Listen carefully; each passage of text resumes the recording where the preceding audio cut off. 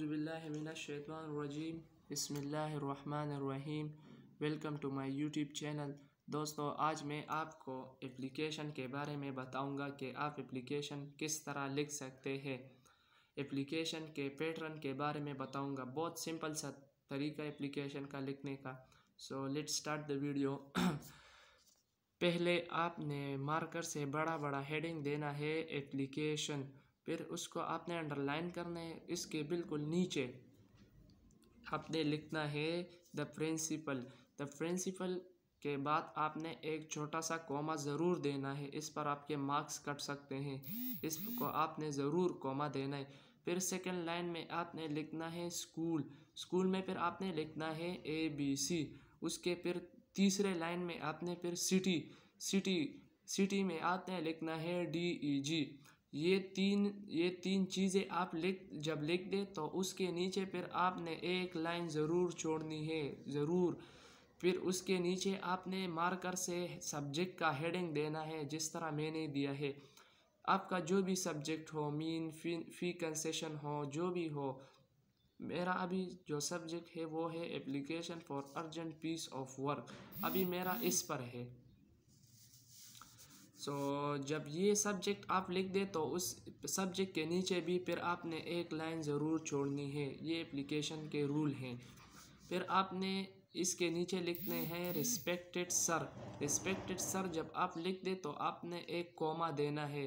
जब आप कोमा दे दे तो आप देखें ना मैंने कोमे के नीचे ही स्टार्ट लेना है। आपने बिल्कुल कोमे के नीचे स्टार्ट लेना है। जब आप रिस्पेक्टेड सर का हेडिंग दे दे तो फिर इस कॉमे के नीचे, बिल्कुल नीचे आपने एप्लीकेशन की बॉडी स्टार्ट करनी है। So let start most respectfully it is stated that I have an urgent piece of work at home therefore I can not attend school kindly grant me leave for one day I shall be very much thankful to you for this act of kindness आप ये ये देखिए, अभी मेरी ये body complete हो गई। आपने एप्लीकेशन बड़ा नहीं लिखना, बस छोटा सा लिखना है।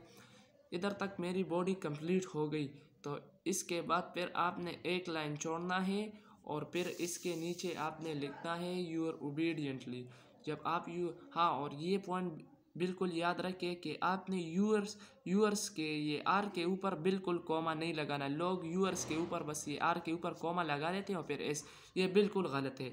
आपने लिखना है यूअर्स ओबीडियंटली और ओबीडियंटली के बाद आपने एक छोटा सा कॉमा डालना है। फिर सेकेंड लाइन में आपने लिखना है एक्स, वाई, जेड। फिर आपने तीसरे लाइन में लिखना है रोल नंबर। आपका जो भी रोल नंबर हो, आपने इधर अपना रोल नंबर लिखना है।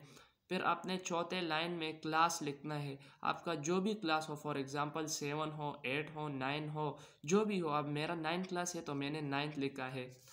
फिर आपने आखिर में लास्ट बिल्कुल आपका लास्ट में क्या काम होगा? आपने डेट लिखना है लास्ट में। तो अब आज का डेट जो है two April two thousand twenty two आप जो, जिस डेट पर भी आप एप्लीकेशन लिखोगे तो आपने वो डेट डालना है। सो so, हमारा एप्लीकेशन इधर फिनिश हो गया। आई होप आपको समझ आई होगी होगी। बहुत आसान सा तरीका है। Thank you